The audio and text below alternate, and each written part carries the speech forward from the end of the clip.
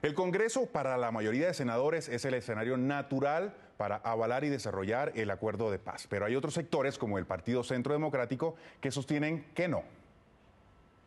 Para los senadores es el Congreso el escenario natural más económico para el país y más rápido, donde se puede refrendar el acuerdo de paz. Que opten por la vía del Congreso, pues es una vía democrática, es una vía donde están todas las fuerzas políticas del país. Le sirve a la democracia porque necesitamos rápidamente iniciar, después de la refrendación, todo el proceso de implementación. El camino que definitivamente le da sello de garantía a estos eh, acuerdos de paz es el Congreso de la República como el representante legítimo de cerca de 48 millones de colombianos. Y por eso el Congreso de la República será garante para que discutamos profundamente estos acuerdos, para que los analicemos, los debatamos y los aprobemos o los rechacemos si va en contra al interés general de nuestras familias colombianas. Y nosotros estamos en la total disposición de, de apoyarlo.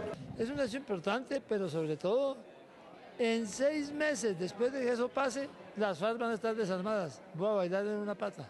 Pero otros no están de acuerdo y dejan entrever que si la refrendación se hace por el Congreso no se lograría una paz estable y duradera. Hoy no se pueden cambiar las reglas de juego y decirle al, al pueblo que ya no son ellos quienes lo hicieron en una primera instancia, sino que ya se lo entrega el Congreso de la República. Estamos estudiando a fondo, por lo menos la bancada de cambio radical está estudiando a fondo cuál debe ser la posición ideal desde el punto de vista jurídico para no quebrantar la ley. Esta es una oportunidad para hacer una corrección también en ese aspecto y que ojalá eh, no con un plebiscito, sino con un referendo, le consultemos sobre lo fundamental a los colombianos. Hicieron unos cambios cosméticos donde no gana Colombia, no gana la democracia, solo gana la FARC.